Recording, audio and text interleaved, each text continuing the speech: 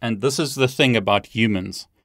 We're told to do one thing, but we often do something else. You should exercise every day. A lot of people don't. You should use strong passwords. A lot of people don't. In other words, just because we should do something doesn't mean that's what we actually do. A lot of people commented on my previous video saying, David, I would never use the simple passwords that you're demonstrating. Perhaps you won't, but a lot of people do. And that's often where there are vulnerabilities or issues. The RockYou password list exists today because the company, RockYou, stored their passwords in clear text. You shouldn't be doing that.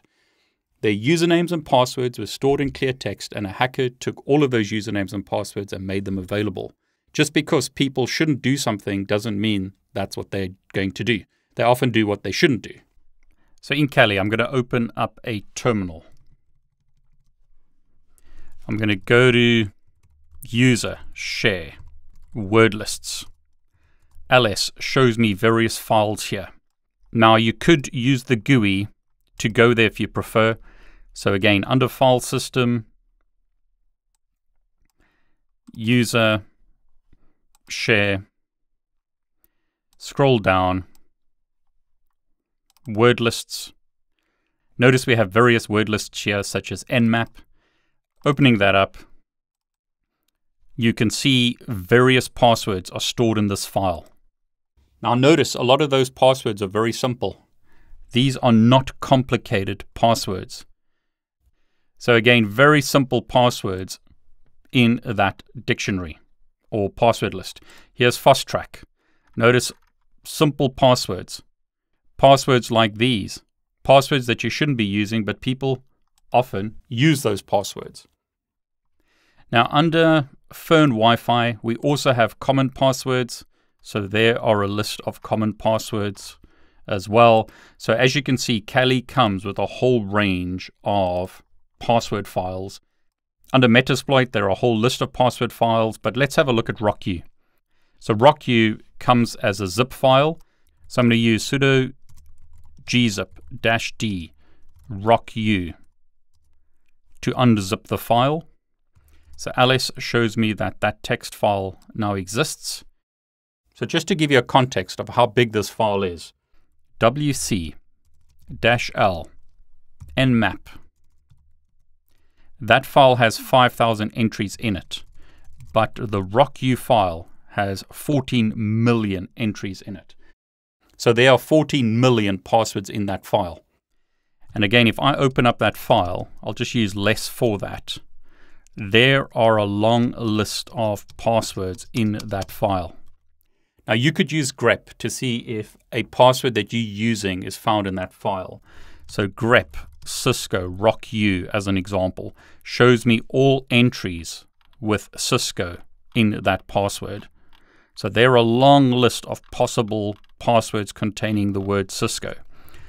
Let's try David. So grep David RockYou text. All of those examples include the word David. I'll open that file again using less, and I'll go to the end of the file and then scroll up. Notice here are more complex password examples. So passwords such as these. In a previous video, which I've linked here and below, I showed you an example of using a more complex password such as this. And I had some people tell me that I had added that password to the RockYou file, but that password actually exists in the RockYou file. So I'm going to use grep-f and I'm going to search for that pattern in the RockYou file and notice it found it. I had someone very angrily tell me that that password didn't exist in the RockYou file that I had added it, but notice it's there by default. I think they just forgot to use the dash F option. But as an example, a password like this looks complicated. That is a password in the RockYou file. So that's been found. So I would suggest that you use grep. And if you're using special characters, use dash F to look for the special characters and then just look for examples of the password that you're using in the RockYou file. And notice three stars appears in many, many examples in this file. So again, wc-l tells me how many entries are in that password file. Now, if you're trying to test against WPA, password lengths on WPA are from 8 to 63 characters in length. Now, some of the passwords in that file are longer and some of them are shorter than 8 to 63 characters. The passwords, once again, in that RockYou file may be shorter or may be longer than that password length. So what I'll do is I'm going to go to my home directory and then I'm going to copy user share word lists RockYou to my local directory. So this is my home directory. And we can see we've got the file here. What I'm going to do now is use grep to look for passwords that are from 8 to 63 characters in length in the RockYou file and save those passwords in the WPA RockYou file. So basically, I've created this file that contains a subset of this file where the password's on the length 8 to 63 characters. So wc-l RockYou shows me that there are 14 million entries in that password list. And let me just do that again so that it's at the top of the screen. But wc-l WPA RockYou contains 9.6 million entries.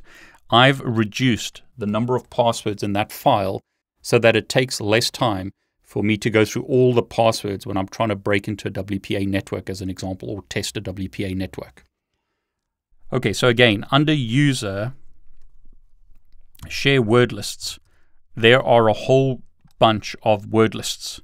You can find the RockYou file online by simply searching for RockYou. So on GitHub, Hashcat releases download data. Click on this link and you'll be able to download the RockYou file. Okay, so word lists are really useful for penetration testing. If you enjoyed this video, please consider subscribing to my YouTube channel. Please like this video and click on the bell to get notifications. I'm David Bombal. I want to wish you all the very best.